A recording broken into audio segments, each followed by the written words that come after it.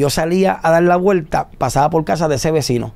Ese vecino estaba, había perdido la compañía de él, estaba ya sacando las cosas de su casa. Estaba la, la marquesina llena de cajas.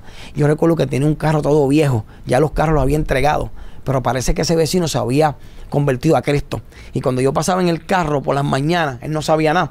Yo bajaba el cristal y decía, vecino. Y él me decía, Héctor, Dios te bendiga. Y ese Dios te bendiga se me metía por dentro porque él no sabía la depresión que yo tenía. Mm. Y yo decía, pero ¿qué rayos tiene ese hombre?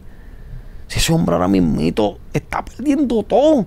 Esa fe, esa empatía, ese amor por dentro. Y yo por dentro decía, yo quiero lo que ese hombre tiene. Yo tengo los carros, tengo la fama, tengo el poder. Y ese hombre lo está perdiendo todo. Y con ese Dios te bendiga. Y eso es lo que la gente tiene que entender, que lo que da Dios es más de lo que el mundo puede darte.